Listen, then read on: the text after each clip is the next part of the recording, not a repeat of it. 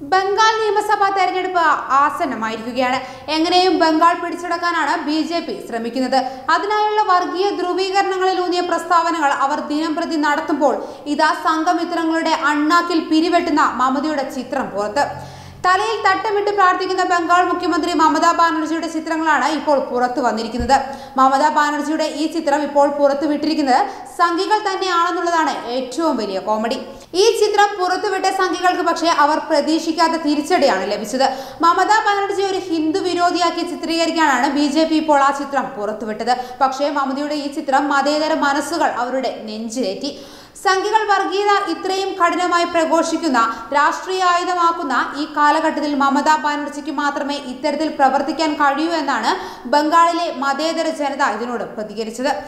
സത്യത്തിൽ ചിത്രം പുറത്തുവിട്ടത് ബി ജെ പി ആണെങ്കിലും അതിന്റെ രാഷ്ട്രീയ ആനുകൂല്യം കിട്ടിയിരിക്കുന്നത് മമതാ ബാനർജിക്കാണ് എന്നതാണ് സത്യം.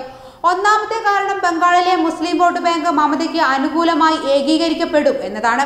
മുപ്പത് ശതമാനത്തോളം മുസ്ലിം വോട്ട് ബാങ്കുള്ള സംസ്ഥാനമാണ് ബംഗാൾ. ഏകദേശം തൊണ്ണൂറ് മണ്ഡലങ്ങളിൽ വിജയപരാജയം നിശ്ചയിക്കുന്നത് മുസ്ലിം വോട്ടുകളാണ്. ഇവിടെ കാര്യങ്ങൾ മമതയ്ക്ക് അനുകൂലമായി മാറുവാൻ ബി ചെയ്ത ഈ പണി തൃണമൂൽ കോൺഗ്രസിന് ഉപകാരപ്പെടും. തൃണമൂൽ കോൺഗ്രസിന് അനുകൂലമായൊരു വോട്ട് ബാങ്ക് വേറെയുമുണ്ട്. ദളിതർ ഉൾപ്പെടുന്ന ഹൈന്ദവ സമുദായത്തിന് നല്ലൊരു പിന്തുണ മമതയ്ക്കുണ്ട്. മുപ്പത് ശതമാനത്തോളം വരുന്ന ഇസ്ലാമിക വോട്ട് ബാങ്കിനൊപ്പം മമതയുടെ ഈ അടിയുറച്ച വോട്ടുകൾ കൂടി കിട്ടിയാൽ നിഷ്പ്രയാസം അടുത്ത തവണ തൃണമൂലിന് അധികാരം പിടിക്കാൻ പറ്റും. മാത്രമല്ല ഇസ്ലാമിക വോട്ട് ബാങ്ക് പിളർത്തി സംഘപരിവാറിന് ഒത്താശ ചെയ്യാനിറങ്ങിയ കപട മതേതരവാദികളായ അബ്ബാസി സിദ്ദിഖിനെയും ഉവൈസിയെയും പോലുള്ളവർക്കും അത് തിരിച്ചടിയാണ്.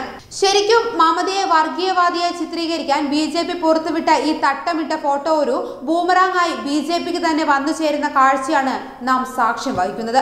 ബി ജെ പി സർക്കാരിന്റെ ന്യൂനപക്ഷ വിരുദ്ധ നയങ്ങൾക്കെതിരെ ശക്തമായി പ്രതികരിച്ച വ്യക്തിയാണ് മമത. ദേശീയ പൗരത്വ വിഷയത്തിൽ ഉൾപ്പെടെ സജീവമായി മമത രംഗത്തുണ്ടായിരുന്നു. ഇത്തരത്തിൽ പല അവസരങ്ങളിലും മതന്യൂനപക്ഷങ്ങൾക്കൊപ്പം അടിയുറച്ചു നിന്ന് മമതയെ തോൽപ്പിക്കാൻ വർഗീയത അല്ലാതെ മറ്റൊരു ആയുധവും ബി ജെ പിക്കില്ല. പക്ഷേ അവരുടെ വർഗീയ പ്രചാരണത്തിന്റെ ഗുണം ശരിക്കും ബംഗാളിൽ കിട്ടുക മമതാ ബാനർജിക്ക് തന്നെയാകും. കാരണം ന്യൂനപക്ഷങ്ങൾക്കും വ്യക്തമായ വേരോട്ടമുള്ള സംസ്ഥാനമാണ് ബംഗാൾ.